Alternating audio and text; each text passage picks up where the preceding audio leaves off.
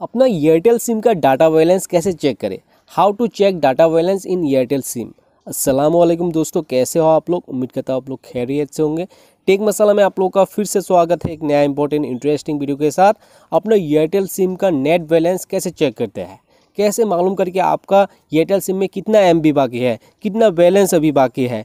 तो आप चुटकी में पता कर सकते हैं। टू थाउज़ेंड ट्वेंटी फोर का नया ट्रिक है, बहुत ही आसान है। लेकिन इस ट्रिक को सीखने से पहले आप लोग को एक काम करना है। एक स्मॉल सा रिक्वेस्ट है, जो वीडियो आप देख रहे हैं मेरे दोस्त। उसी वीडियो को कर देना है सबसे पहले लाइक और वीडियो के साइड में देखिए सब्सक्राइब का बटन मिलेगा, इस पर आपको क्लिक कर देना है।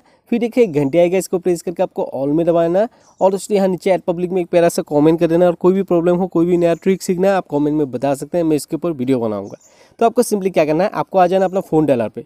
सभी का फ़ोन डायलर होता है, जिसे हम लोग कॉल करते हैं। फ़ोन डायलर पे आना है। आने के बाद यहाँ फ़ोन डायलर पे आपको डायलर पे एक कोड पे कॉल करना है।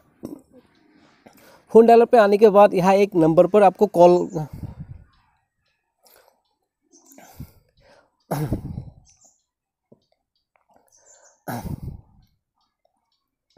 फ़ोन डायलर पर आने के बाद आपको यहाँ पर एक कोड पर कॉल करना है। Star one, two, one hash इस नंबर पर आपको अपना एयरटेल सिम से कॉल लगाना है। देखिए मैं अपने एयरटेल सिम से कॉल लगाता हूँ। आपको भी करना है। फिर रनिंग यू एस कोड ऐसा आएगा। आपको फिर ओके पे क्लिक करना है। ओके पे क्लिक करने के बाद फिर आपको वेट करना है। थोड़ा टाइम वेट करना है। फिर देखिए ऐसा नहीं जाएगा। यहाँ पर देखिए आपका फ़ोन नंबर ये देखिए दो दो नंबर पे आपको बैलेंस बैलेंस पे आपको टू टाइप करना है। फिर आपको सेंड कर देना है। सेंड कर देना है। फिर देखिए वेट करना है। ये देखिए मेरा बैलेंस कितना है? ज़ीरो है। तो फिर आप डाटा देखिए डाटा मेरा दो हज़ार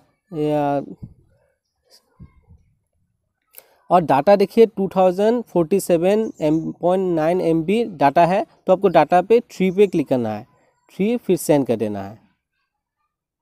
ये देखिए मेरा data two thousand forty seven point nine M B और बैलेंस ये देखिए तो यहाँ पर पूरा आप ऐसे मालूम कर सकते हैं। तो ऐसे आप पता कर सकते हैं कि आपका एयरटेल सिम में कितना डाटा है, कितना एमबी है, कितना बैलेंस है। तो उम्मीद करता हूँ वीडियो को समझ में आ गया होगा। इंशाल्लाह फिर मिलूँगा अगले नए वीडियो के साथ। तो जय हिंद दोस्तों, जय भारत।